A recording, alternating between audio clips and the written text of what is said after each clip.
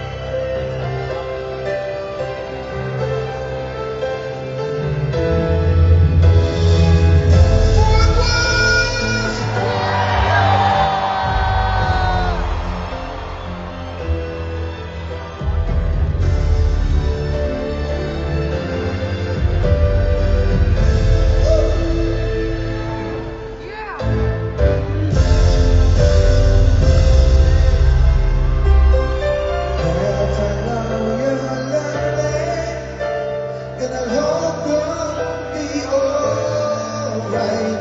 It's beautiful.